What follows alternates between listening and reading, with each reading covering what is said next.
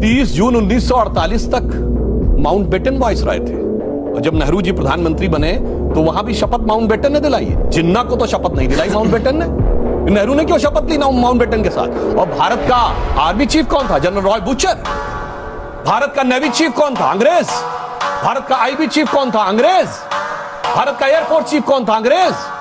तो मैं ये भी कहना चाहता हूँ, प्रथम प्रधानमंत्री थे, पर कैसे सुंदर परिस्थिति में प्रथम प्रधानमंत्री बने थे, यह भी बात लोगों को पता होनी चाहिए। और मैं एक और बात कह दू, इन्होंने जो बात कही, नेहरू जी के बारे में भारत के इतिहास में पहली बार अगर किसी प्रधानमंत्री के खिलाफ कुछ लिखने के लिए दो साल किसी को जेल में रखा गया तो मजरूर सुल्तानपुरी थे, क्योंकि उन्होंने एक आर्टिकल लिख दिया था कि नेहरू की स्टाइल में हिटलर शाही नज़र आती है। दो साल वही मजरूर सुल्तानपुरी, जिनके आपने बहुत सारे फ़िल्मों में गाने भी सुने होंगे, उनको जाके जेल में रख दिया गया। ये इनका वो